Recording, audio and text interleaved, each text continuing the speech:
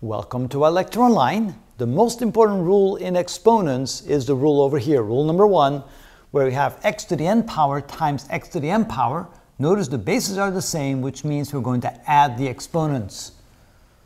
But we have to be very careful because along with this rule come among the most common mistakes that we end up making when we're not careful. And here are three, probably the most common three mistakes we make using exponents.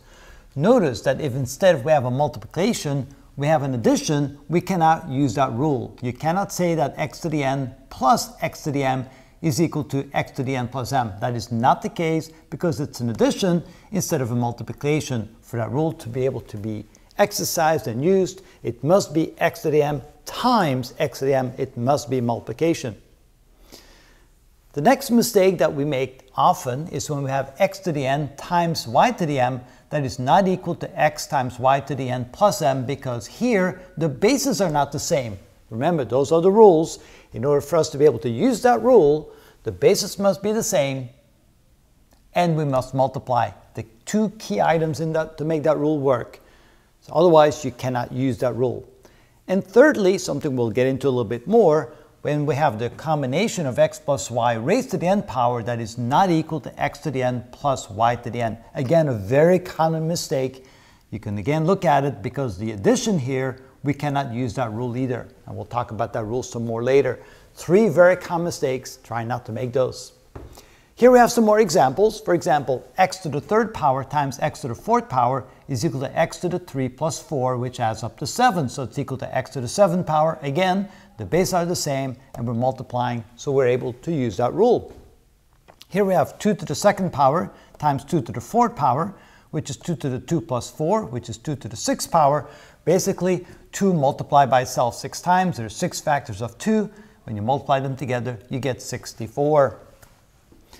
Another way of looking at that very same problem is you can say, well, 2 to the second power, that's 2 times 2, and 2 to the fourth power, that's 2 times 2 times 2 times 2, 4 factors. So that's 2 times 2, which is 4, times 2 times 2 times 2 times 2, which is 16. 4 times 16 is 64. You get the very same result.